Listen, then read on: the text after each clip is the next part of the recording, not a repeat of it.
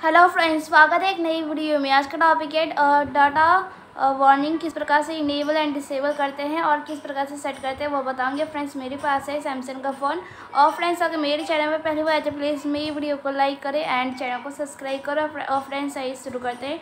सबसे पहले आपको सेटिंग को ओपन करना है। सेटिंग को ओपन करने के बाद आपको इस से इंटरफेस आता है।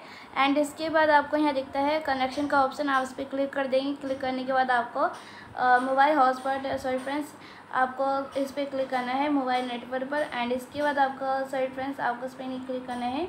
आपको सिम कार्ड मैनेज पे क्लिक कर देना है। तब आपको इस प्रकार से इंटरफेस आता है। और मतलब इस प्रकार से होता है, पर आपको इस पर भी नहीं क्लिक करना होता है। पर आपको मतलब कि आप डाटा जो इस पर क्लिक कर देंगे तब आपको ऑप्शन आता है इधर।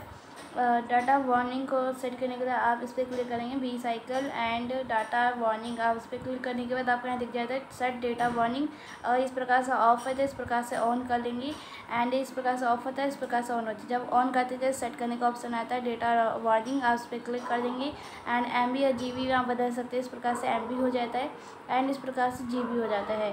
तो इधर two G B one G B आप कोई सा भी सेट कर सकते हैं। एंड सेट पर क्लिक कर देंगे तो आपको सेट हो जाता है। और इस प्रकार से ऑफ़ है इस प्रकार से ऑन करके रखें, तब आप यूज़ कर सकते हैं। एंड इसी प्रकार से आप अपने फ़ोन डेटा वार्निंग को इनेबल एंड डिसेबल कर सकते हैं।